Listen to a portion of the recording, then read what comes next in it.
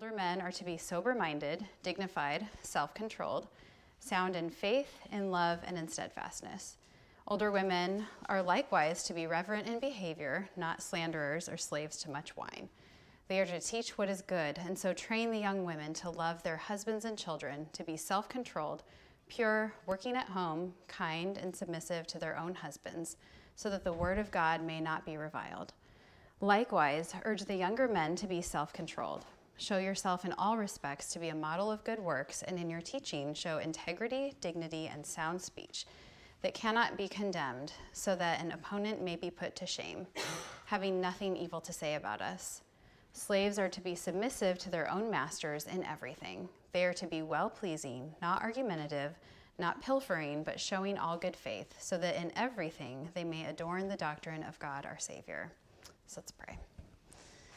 God, thank you for your word. Lord, I pray that you would help me to be faithful to your word tonight, God. I pray that you would um, just be with these women that are listening, Lord, that you would help us to see what you have to say from your word. Help us to walk away from, from this time with a deeper knowledge of you and what you have for us, God. In Jesus' name, amen. amen. So, you guys made it to Titus 2 night. Um, I don't know what your background background is with Titus 2, but I've been in church my entire life, and I cannot tell you how many times I have been taught about the Titus 2 mandate, Titus 2 biblical womanhood, Titus 2 mentoring ministries, Titus 2 discipleship, Titus 2 feminine appeal, and Titus 2 spiritual motherhood. I've been taught a lot about Titus 2, and yet, in all, and I do mean all of my teaching that I've heard, about Titus 2, I cannot recall a single time that I was ever taught about the historical or literary context of this chapter. I do not recall ever hearing any teaching about the Cretan culture or how Titus 2 relates to Titus 1 or Titus 3. Rather, I was taught to read only a few select verses in Titus 2 that spoke about women and then apply them directly to my life. I was taught the seven virtues of a godly wife and mother as a checklist that was to be the entire focus of my life. One of the benefits of studying a whole book of the Bible, the way that we have been, is that when we reach a passage like Titus 2 that might be familiar to us, we're able to properly interpret it within the context of the entire letter. And as a women's ministry leadership team, one of the things that we were so excited in developing this study was that we're able to uh, train ourselves to approach all of Scripture this way, to study entire books of the Bible rather than isolated passages that seem to speak to what we think a particular topic is assigned to it. So tonight, we get to reap some of the benefits of the work that we've put into our study so far. So remember, with any text, we first ask, what does this mean for them then? And then we look at what the passage teaches us about Jesus and what timeless truth it tells us about God. And then we look for application to us now. What we don't do is read a passage and then immediately ask, what does this mean for me today? If we do that, we can miss out on what the text is showing us about Jesus. And we can also do lots of damage to ourselves and others by believing or even teaching that the Bible says something that it doesn't actually say. So let's review our context. First, we're going to look at the historical context and then the literary context. So, you guys already know this, we've talked about it a lot, but this letter was written to Titus, who is developing churches in Crete. Cretans were known to be liars, evil beasts, lazy gluttons. They lived their lives however they pleased. They spent their days drinking mojitos on the beach, hooking up with whoever they wanted.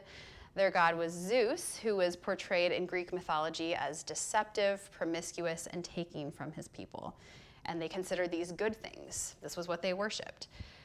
And Jesus, in his wisdom and sovereignty, called his church to go out to these kinds of people in this kind of place. So that's what the historical context is for Crete. But now, if we zoom out and look at what the overall context is of Gre- the Greco Roman world at this time, it can give us an even better picture of our context. So, Rachel Miller, who wrote an excellent book called Beyond Authority and Submission, talks about what life was like for men and women in the Greco Roman world. Basically, if you were a man, it was great. Life was wonderful for you. And if you were a woman, it was terrible. According to Greek mythology, women were the worst plague Zeus ever created. And remember, the, the Cretans worshipped Zeus. Women at this time were considered morally, physically, intellectually, and emotionally weaker than men. Men were viewed as rational, strong, courageous, and made to rule, while women were viewed as irrational, weak, nervous, and made to obey. Women were viewed as hysterical, and even the Greek word for uterus was hysterica, which is where we get our English words of hysteria or hysterical. Greek physicians such as Hippocrates believed that a woman's uterus wandered around inside of her body and pressed up against her internal organs, causing great mental and psychological distress. So they believed there was scientific evidence that backed up their assumption that all women were basket cases all of the time. And because of this, women were, of course, not seen as capable of rational thought. And therefore, their contribution to society was not in the arts or academia, but rather in providing stable home lives for their husbands and children. It was the man's job to think and work and provide for his family. It was the wife's job to make a home that was restful and welcoming for her husband after a long day of important work. Women were usually educated only in the basics of reading and writing, but most of their education was in the domestic arts. Rachel Miller again writes there was a double standard when it came to morality. While wives were expected to be sexually faithful, husbands were not. The female Greek philosopher Phintius wrote A woman's greatest virtue is chastity. Courage and intelligence are more appropriately male qualities because of the strength of men's bodies and the power of their minds. Chastity is more appropriately feminine. And while upper class and wealthy women stayed home or went out in public with male guardians, most women were not protected and they were considered sexually available if they were out in public. And a husband could charge his wife with adultery and could divorce her, keep the children, and prevent her from ever seeing them. And this was true even if her adultery was not consensual. Again, quoting Rachel Miller, if a husband, if a wife offended her husband, he could kill her and even be applauded for it. So none of this is pleasant to think about, but it is the reality of them then. Paul is addressing a specific group of people at a specific time in history. We need to understand the world of the original audience so that we can see Paul's aim for his original audience. This will also shed light on how we are to interpret this for us today. For Paul's audience, the lines that were drawn between men and women were very distinct. Given the historical context, then, does it make sense to you that Paul's word for women would be to put them in their place and to make sure that they understood gender distinctions? My point is that historical context matters. So that's our historical context, and now let's look at our literary context. We already discussed in our homework time that our passage begins with but, Paul is contrasting the false teachers of the last section with what he's calling Titus to. Verse 1 But as for you, Titus, as for you, be different. Don't be like the false teachers. And as for you, Titus, teach what accords with sound doctrine. And Paul also gives Titus specific instructions in verses 7 through 8. Show yourself in all respects to be a model of good works, and in your teaching, show integrity, dignity, and sound speech that cannot be condemned, so that an opponent may be put to shame, having nothing evil to say about us. Titus is not called to hypocritically tell others how to live their lives without also obeying God's word himself. He's called to integrity, dignity, and sound speech. He's called to live a life that is the opposite of a liar, evil beast, and lazy glutton. If false teachers profess to know God but deny him by their works, Titus is called to affirm his beliefs by his actions. In order for Titus to teach what accords with sound doctrine, he must exemplify this in his own life. So that's why in verse 1, Paul tells Titus to teach what accords with sound doctrine. And just like he did with the qualifications for elders, remember he started with the general above reproach and then went down to specifics. He's doing that again here. He starts with a general statement, teach what accords with sound doctrine, and then he tells Titus here to teach the church to be godly in their actions. So he's going to get from that general statement down into the specifics. So um, when my kids were younger, I always took them to this playground that was right next to a Christian school, and every morning it was right around the time that school was starting. And so parents would be walking their kids into school, and um, there was one time that this mom was kind of running late, and understandably, she was frustrated and just impatient with her kids. But her two children, her two daughters, were named Mercy and Grace. So it was kind of funny because she's yelling at them, just berating them Mercy, Grace, hurry up! Mercy, Grace, I've had it with you! So when Christians claim to love Jesus and then blatantly disobey Scripture, I think it's just a little bit like that. The things that they claim are in stark contrast to the way that they live, and the world ends up thinking that the Bible is a joke. Only when God's word changes the way we live in tangible ways are people curious about why we are different. So, the church, men and women, young and old, slave and free, are all on a shared mission. The shared mission is reflecting the truth of the gospel in both our words and actions. The specifics of what this will look like will vary depending on the specifics of our lives, but the mission is the same. So, let's get to those specifics. While men and women are called to a shared mission, it's not as though men and women are interchangeable. Paul does address different groups of people according to Greco Roman household codes. He is addressing his audience where they are in their historical, cultural context. He isn't inventing gender distinctions and then teaching them to the Cretans, but rather he's taking what's already in Crete and then instructing them how to show off the gospel in their everyday lives. So we see five groups of people listed here. The first is older men, older women, younger women, younger men, and then slaves or bondservants. Paul gives each group very specific examples of what godliness looks like for their unique situation. These are not checklists that each group should abide by, but rather examples of the kinds of things that godliness will look like for each group. And how do we know this? Again, remember the context. The main false teaching that Paul is fighting is legalism. So, why would Paul counter legalism and rule keeping by teaching legalism and rule keeping? If he's teaching them these lists as just laws that they need to obey, that wouldn't really make sense when that's what he's fighting against. Rather, this is gospel motivated, spirit empowered life that Paul calls each group to. So the first group Paul addresses is older men. And look with me again at verse 2. Older men are to be sober minded, dignified, self controlled, sound in faith, in love, and in steadfastness. So we're older men in this society expected to be sober minded, dignified, self controlled, and sound in faith, love, and steadfastness? No, they were not. The fact that Paul puts any expectation on older men was revolutionary to the Cretan culture. He is saying they don't get to do whatever they want, and there is an expectation of them to be respectable. Sober minded is also translated temperate, they must not be getting drunk. Dignified is also translated as worthy of respect. So they don't get to demand the respect of others, they need to be worthy of that respect. They are to be self controlled, which is a characteristic to each group that Paul addresses. They must control their urges and passions and desires. Again, this is completely countercultural. They are to be sound in faith, love, and steadfastness. Being sound in faith, love, and steadfastness is what makes these men worthy of respect. Can you imagine the impact it would have on this Greco Roman world when older men were sober minded, dignified, self controlled, and sound in faith, love, and steadfastness? What would it do to the watching world to see men who serve and love rather than command and dominate? The gospel is reflected through this, ki- through this kind of behavior.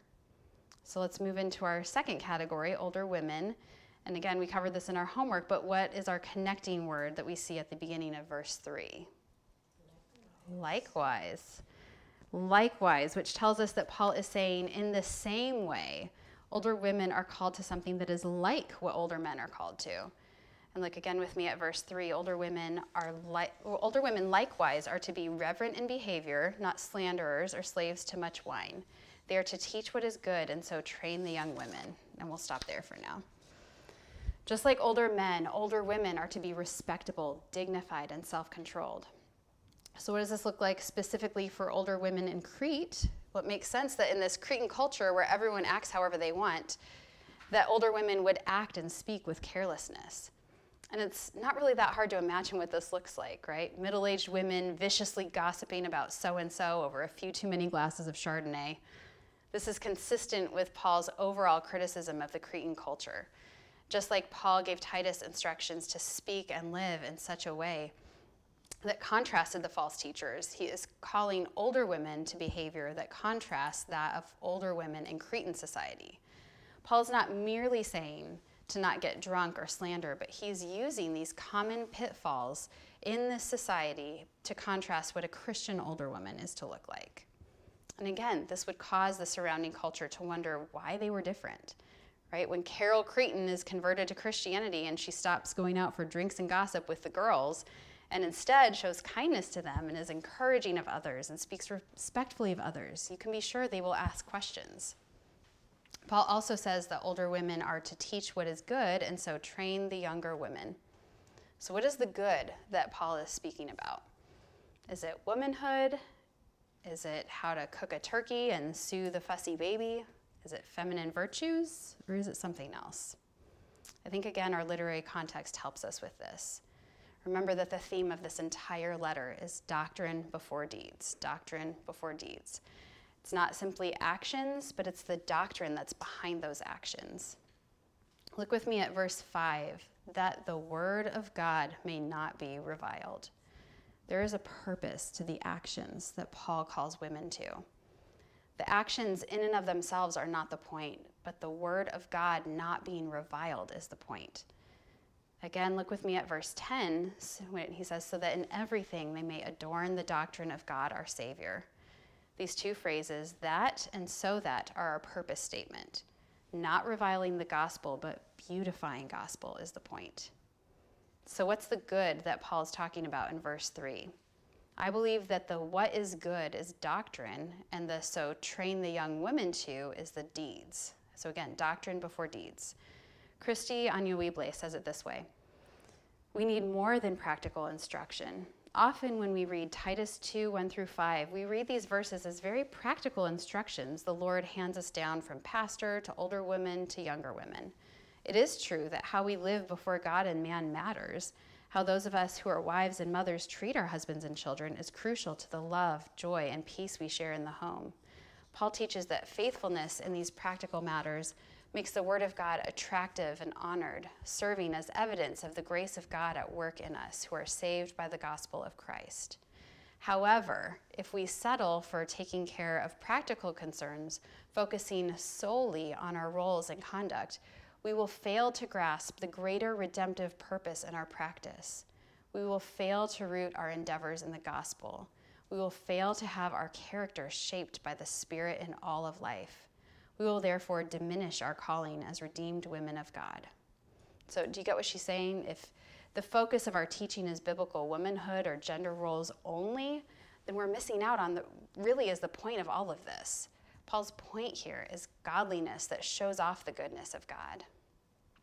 And Paul continues to emphasize doctrine before deeds in verse 3.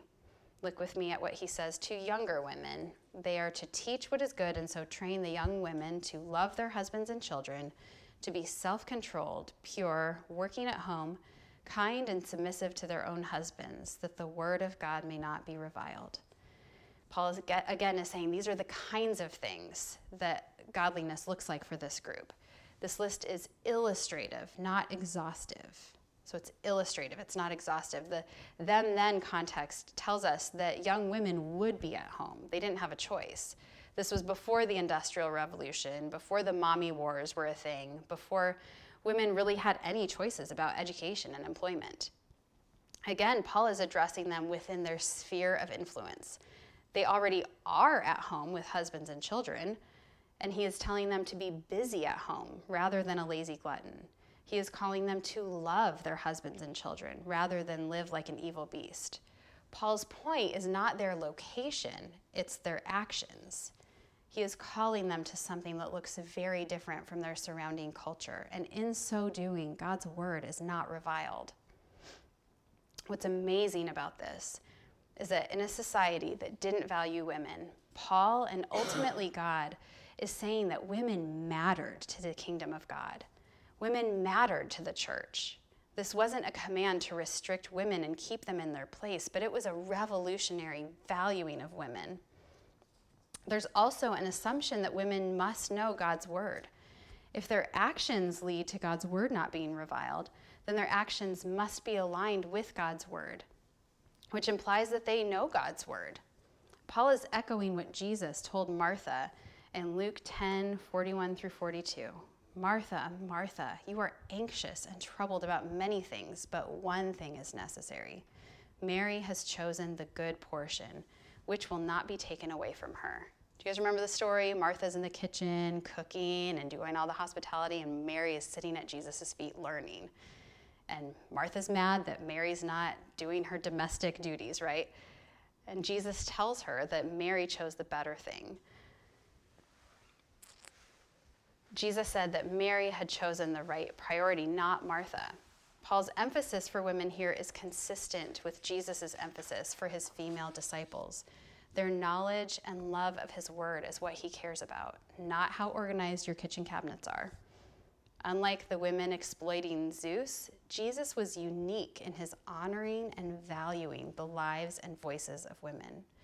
Jesus encouraged women to learn from him, and he called women to be his disciples, which would have been shocking and scandalous in his historical context. Women ministered to and alongside Jesus. Women were the first ones to tell of Jesus' resurrection at a time in history when women's testimonies were not given any credibility, at a time when women, especially emotional women, were viewed as hysterical. Women may have been belittled in this world, but Jesus values and honors them by giving them a place in his kingdom and telling them that their lives are just as valuable in displaying the gospel as everyone else on this list. So, women, younger and older, let's get busy with our mission. You are uniquely able to show off the beauty of Christ by how you live because of what you believe. Our fourth category is younger men. Look with me at verse 6. Likewise, urge the younger men to be self controlled. And again, he says likewise in this transition. Did you catch that? It was there's something similar to, not unique from, not uniquely distinct from younger women. Younger men similarly reflect well on the Word of God through their behavior. However, they're not given a list, just be self controlled. And again, this was a revolutionary expectation for this group of people. In this specific context, where men were permitted to do pretty much whatever they wanted, being called to self control was radically different from the surrounding culture and would surely cause unbelievers to wonder why these young men were different from what was expected of them. Paul is not calling men to be men and women to be women, but he is calling men and women to be Christ like. He calls men and women to partake of the Great Commission to go and make disciples of all nations Paul's aim for his audience in this passage is not to make sure that men are doing the leading and women are doing the following. His aim in this passage is to charge men and women to live lives that makes the watching Cretan world wonder what makes them different. The last group of people that Paul lists are slaves or bondservants. In the first century, one out of three people in Rome and one out of five elsewhere were slaves. That's a staggering number of people. Some of the slaves were, um, some were slaves after being kidnapped and forced to work in fields and mines. Some were prisoners of war that were, that were forced into slavery. Some were children that were sold into slavery by destitute parents. some people who couldn't afford to pay their debt would become slaves voluntarily. And some were horribly abused and mistreated by their masters. Some were considered members of their family and were treated with honor despite their status. Some slaves were more educated than their masters. And regardless of how they became slaves, Paul again does not comment on the validity of this social structure, but rather addresses his audience where they are. This isn't because slavery is condoned by God, it's not. Any treatment of one person to another that undermines their dignity and personhood is despicable in God's eyes. Yet we see that, like women, God values and honors those whom the world deems valueless and dishonorable. So look with me at verses 9 through 10. Slaves are to be submissive to their own masters in everything. They are to be well pleasing, not argumentative, not pilfering, but showing all good faith, so that in everything they may adorn the doctrine of God our Savior. He tells slaves to submit to their masters and seek to please them, to not argue with them or steal from them, to be trustworthy. Again, there's a purpose to this that, the, that in everything they may adorn the doctrine of God our Savior. Isn't it interesting that the two groups of people, young women and slaves, who are told explicitly to submit, are the most vulnerable, yet are given specific encouragements that they uniquely adorn the gospel? In doing this, Paul is elevating the status of women and slaves in the kingdom of God. He is telling them this world you find yourself in might strip you of your dignity and rights, but in God's kingdom, you are highly valued. In God's kingdom, your life matters. He gives specific encouragement and hope to those who need it most. So, in our next lesson, we'll talk more about the gospel message that motivates these godly characteristics. But for now, let's just notice that the gospel is the great equalizer of all people. Men and women, older and younger, free and slave, are all given specific commands about behavior that is befitting to the gospel. No one is given a free pass, no one is told they are above accountability. No one is more important than another. Every single person Paul addresses is part of a shared mission. So we looked at them then, we looked at how this points us to the gospel, and so now let's look at us now. And as we break up into our application discussion groups, let's, I lost my place, let's apply this to us now. Paul lists what kinds of expressions of godliness are unique to each area's each group's area of influence, but we live in a world where the lines are not so distinct between men and women, older and younger. Many of us are unmarried or don't have children. Many of us work outside the home. So the question isn't your domestic achievements. The question is, what does godliness look like for you in your specific place? And this will vary from person to person. If you are married with children, then are you loving your husband and children? What are the specific ways that you are tempted? What are the specific things God is calling you to obey Him in? As we discuss these things, let's also demonstrate the gospel and how we talk about these things, showing grace and respect and love to one another. God has called each of us to a different sphere of influence, and it's a good thing that there is diversity among us in what God has called us to. We obey Him because we love Him, and we love Him the more we know Him. He is worthy of our obedience and our very lives, and we can trust him as we seek to honor him through our actions. Let's pray. Lord Jesus, thank you so much for calling us to such a high calling. Lord, thank you for for being such a good savior, for seeing us with with love and compassion. God, thank you for this scandalous grace that you show us. God, thank you for calling all of us to equally serve you, to, to be partakers of this shared mission, Lord. Pray for each woman here that she would see herself as important in your kingdom, Lord. I pray that you would be convicting us of areas that we can love you more, that we can obey you more, not as a checklist, not as legalism, but out of love for you and out of excitement that we get to partake in this shared mission, God. Pray for um, just for our hearts, God, that we would be excited about the gospel, that we would see you as being worthy of our very lives, of every action that we do, adorning the gospel. Lord, would you please be with us now? Give us words of encouragement and love for one another as we discuss these things. In Jesus' name, amen.